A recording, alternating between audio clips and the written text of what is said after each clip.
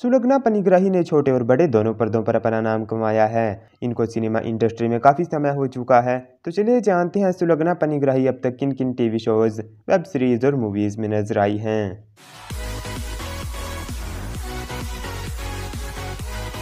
सुलगना पनिग्राही ने अपने television career की शुरुआत 2007 में की थी। सबसे पहले सोनी टीवी के शो अंबर धारा में धारा का लीड रोल करती नज़र आई थी। इनको अपने पहले ही शो से अच्छी खासी पहचान मिली। इसके बाद ये जी टीवी के शो दो सहेलियाँ किस्मत की कठपुतलियों में मैथाली की भूमिका निभाती दिखाई दी। इसमें भी इन्होंने लीड रोल किया। स्टार प्लस के पॉपुलर सीरियल सपना बाबुल का विदाई में इन्होंने साक्षी राजवंश का एक अहम किरदार निभाया था। स्टार प्लस का हिस्टोरिकल शो, विद्रोही में इन्होंने राधा मणि राय की भूमिका निभाई है। इसमें भी ये लीड रोल करती नज़र आई हैं।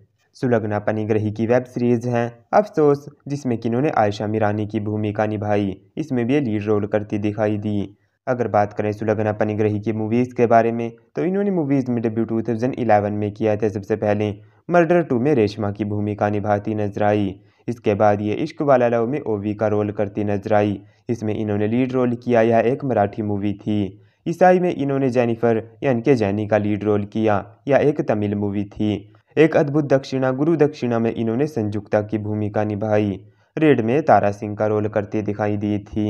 पिंकी ब्यूटी पार्लर, इसमें इन्होंने पिंकी का लीड रोल किया।